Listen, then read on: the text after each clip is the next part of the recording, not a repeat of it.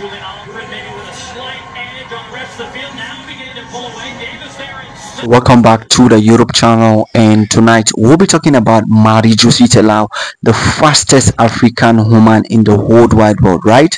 So um recently she raced against Julien Alfred, one of the best ST Lucian athlete and um, the result of the race was very disastrous for the fastest African woman and she has finally shared her reaction watching Julien Alfred an athlete that grew up watching her racing all the time finally beating her. So um, Marie Josie Talou, the fastest African woman, finally share her own opinion about watching Julien Alfred beating her in the um, Monaco Diamond League. So before I continue with the main video, in case this happens to be your first time here on this YouTube channel, um, please do me a favor to first like this video and also subscribe to the YouTube channel. So Marie Josie Talou recently made a post 33 minutes ago on social media and she said, Happy with my race today. I finished fifth position, healthy, and this is the most important thing. My next stop is going to be London Diamond League. So um that is uh, Marie Josie reaction as you can clearly see from her reaction what she means by happy with my race today is that she is contented with um her performance today at the race despite the fact that it was disastrous and un unfortunate because fifth position is not a good position. But you can still she she still express happiness with the fact that she came fifth position. And she went on saying i finished fifth.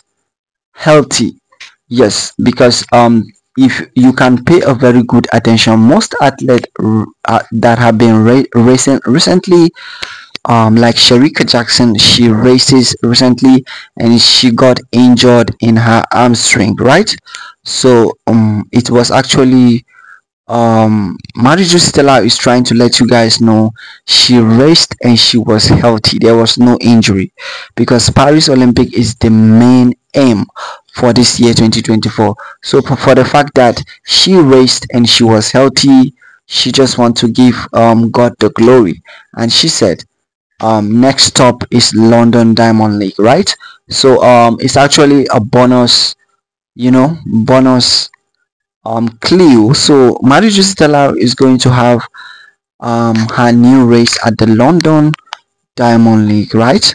So um now let's talk about Julien Alfred. Let's talk about how far she has improved because I feel like Julien Alfred is going to be a threat to the Jamaicans, not just the Jamaicans, even Sha'Carri Richardson Julien Alfred is going to be a big threat to her. Do you know that Dina Asher-Smith also participated in this race? But guess what? She could not defeated Julien Alfred. So I feel like Julien Alfred is coming um is, is going to be a big threat in Paris Olympic. Yes, considering the fact that she bested a time of 10.85 seconds is a massive time. Is a is a big massive time. And i feel like she is coming. She is coming with fire. She is coming with thunder. She is coming with storm. Yes julien alfred. Let me repeat myself. Julien alfred is not here to play 2024 let me hear your opinions um about julien alfred. And don't forget to like this video and also subscribe um to the youtube channel